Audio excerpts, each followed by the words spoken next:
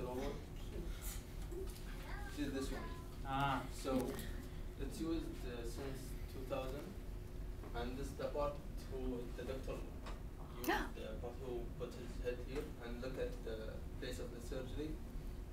And this is the control panel that he control the four arms. Mm-hmm. Those four arms who make the surgery beside the hand.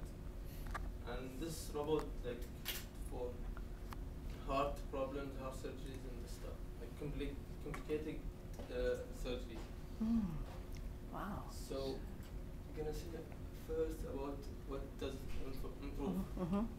It uh, improve the time, so it has less time, like half, almost half the time of the surgery. It, it takes less time, Yeah. or the same amount of time as surgery. It takes the Less. sa- less time. Yeah. Oh. and uh, the wound will be small and to to heal uh, faster Wow. and they won't waste a lot of bl- blood in the surgery Wow. so they they don't need extra blood and less pain of course and less bacteria because uh, the doctor won't use his, his hand with the patient Uh-huh. only the forearm Wow.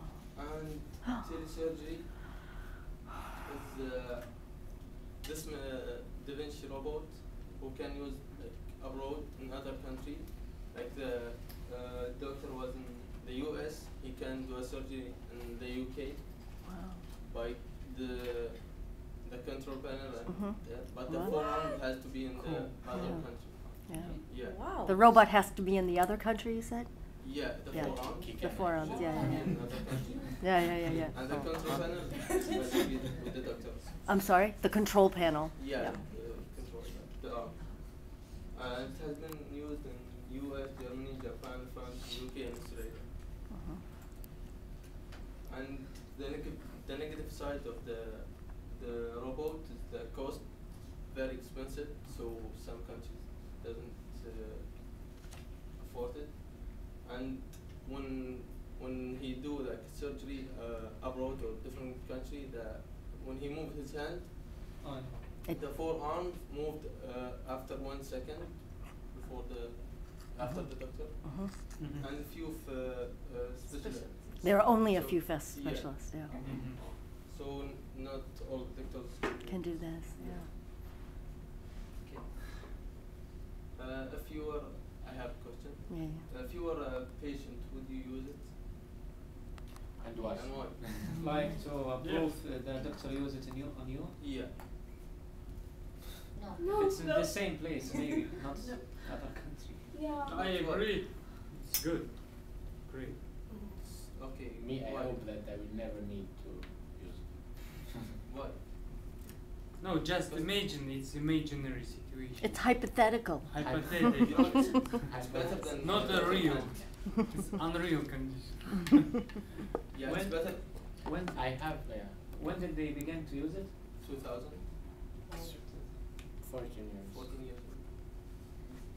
But the that. problem is, it's, that. it's a robot, and you can know Why they call if it, it stops, you know, during the No, it it won't stop. And smash your head. No, it doesn't stop because you have to plug it in.